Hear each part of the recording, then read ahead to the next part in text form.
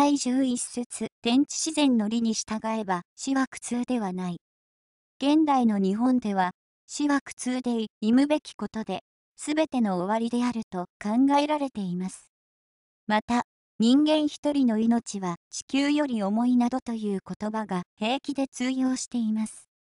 このために、今の医療現場では、ほとんど救命の見込みのない高齢の重病人でも、わずかでも助かる可能性があるかもしれないと、医師の誰かが発言したり、家族の誰かが病人の死を受容できずに、熱心に延命治療を希望すれば、高額な医療費をかけた最先端医療を何日も行わざる得ない状態になっています。しかし、大東亜戦争、太平洋戦争までの日本では、木は三国よりも重く、死は肛門より軽しと覚悟せよ。木ミサを破りて不覚を取り、おめを塾なかれ、軍人直輸。という考え方が常識でした。人間としての良し、主に天皇の親民としての国家に対する使命が何より大切で、義の前には、人間の命などは、肛門、大鳥の羽で、極めて軽いものの例え以下の軽いものであるという意味です。このような思想のもと、太平洋戦争では、多くの若者が爆弾を抱いた飛行機で、自らの命も顧みず、敵の軍艦に体当たりして懺悔して行きました。単に軍国主義者に洗脳されただけである、と言ってしまえばそれだけかもしれませんが、その評価については、後世の歴史家に任せ、ここでは、現代人と戦前の人間との死生観の大きな違いに注目してください。私たち日本人のわずか12世代前の死生観ですら、現在とはかなり異なっていたのです。欧米では、キリスト教徒が多数を占めています。キリスト教徒は、死後は天国に生まれ変わるのだから、死は怖くないと教えられており、富士の願告地も、ごく自然に行われています。欧米の病院には教会があり、日本では信じられないことですが、臨終の時には、医者より牧師の方が重要です。私の個人的な見解では、今の日本人の死に対する考え方すなわち死生観は根本的に間違っていると思います。大切な人間の死に近い時期や死の現場に、生死に対して何の教育も受けておらず、従って死に対して何の理解もない今の日本の医師が立ち会わなければならない社会的状況が、患者にとってもまた、医師にとっても大きな不幸であると思います。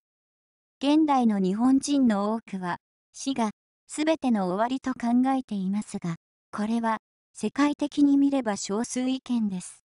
インドでは生き物は生と死を永遠に繰り返す状態、すなわち輪廻転生をするのが当たり前であると信じられています。なんだ、生まれ変われるなら永遠に生きられて結構なことではなか、と思うのは日本人の朝知恵で、インドでは生きること自体が大変な苦しみであると考えられてきました。そして、苦しい生死を繰り返す輪廻転生は、同辞書を永遠に回るだけの耐え難い苦痛であると考えられています。単に、同じ場所をぐるぐると回ったり、二つの桶の間で水を移し替えることを繰り返すような、無意味な生産性のない単調な作業をずっと続けていると、人間は発狂すると言われています。囚人に穴を掘らせて、その穴を埋め、また、穴を掘らせてまた埋める作業をずっと繰り返すという処刑法がある意で、人間は達成感のない行為を続けていくと、やる気を失い生きる気力も乏しくなってしまいます。永遠の生死の繰り返しの輪から逃れる方法を求めるのが、インドの宗教の目的で、お釈迦様の始めた仏教も、インドの宗教の一分派です。輪廻転生の宿命から逃れた状態が、成仏すなわち涅槃、ニルバーナです。インドでは仏教が滅びたと言われていますが、どんな宗教でも飲み込んで融合してしまうヒンズー教の中に仏教が混合してしまい、よくわからなくなってしまったというのが正確です。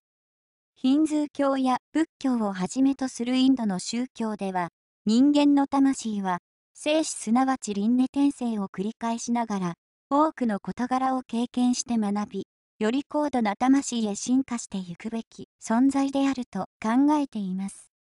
このように考えれば、人間の運命に生まれつきさが生じ、剣具や貧富また、健康や病弱があるのは、前世から引きずっている宿命的な因子に大きな原因があることも理解できます。このような観点に立てば、真面目に生きて、前向きに真理を追求している人間にとって、死は、すべての終わりなどではなく、新たなる段階への飛躍であることになります。古い言葉で極楽浄土へ成仏することになります。逆に、だらしなく、不真面目に生きている人間にとって、死は低次元な世界への堕落であることになります。古い言葉では、地獄へ落ちると過成仏できず、幽霊になって迷うと言います。キリスト教では輪廻転生思想はありませんが、死後に天国の神の下に行くことは、新たな高地元世界への転生と考えられます。これは、神の教えを守り、正しい行いをした人に限ります。神の教えに反した罪人が地獄へ落ちることは仏教と同じです。仏教でもキリスト教でも自殺は最大の罪であると考えています。これはこの世での様々な苦しい出来事は魂の発展に大切な試練でどんなに苦しくてもそれに耐え抜くことが魂の質の向上のためのいい修行であると考えられているからです。だから大切な人生という修行の場を放棄する自殺は魂の向上の機会を自らの手で放棄してしまう行為だから、最大の悪事であると考えるのです。さて、死は本当に苦しいのでしょうか？それは、病気で死ぬから苦しいのであって、病気なしで死ぬときは、睡眠に入るときのように、苦痛はほとんどありません。苦しいのは病気のせいで、それは人間の不節制によるところが大部分です。病院であちこちに点滴や管をつながれたスパゲティ状態で死んでいく人が多い反面、自宅で家族に見取られながら、大して苦しまずに亡くなる人もあります。天地自然の理に従って生きていれば、人間は天寿を全うできます。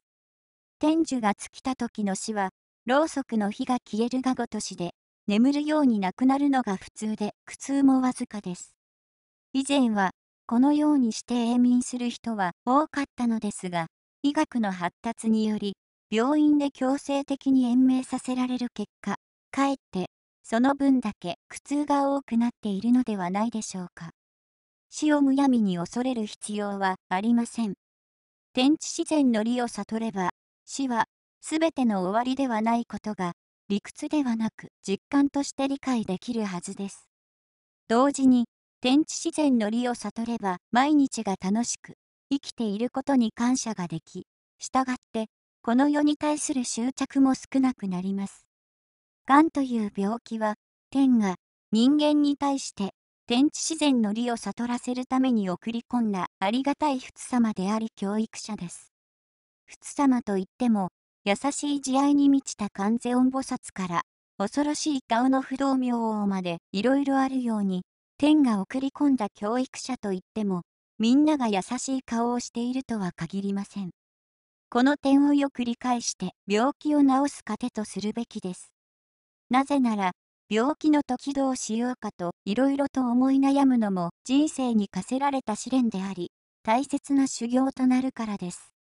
まとめると、癌を治そうと思えば、癌を敵視して戦うのではなく、癌になった原因をよく考えて反省し、このような反省が行える機会を作ってくれた癌に感謝できる意の気持ちになり、死も恐れなくなるような人生観を確立し、それによって、自らの体と心を律する生活を送れるようにすればいいのです。文章にすれば簡単ですが、すぐこのこのようなことを実行するのは極めて困難ですから、これからその具体的な方法論をわかりやすく述べていきます。しかし、真の癒し、すなわち、本当に幸福な人生を目指すなら、癌などの病気を治すことだけが癒しではありません。真の癒しとは、もう少し奥の深いものです。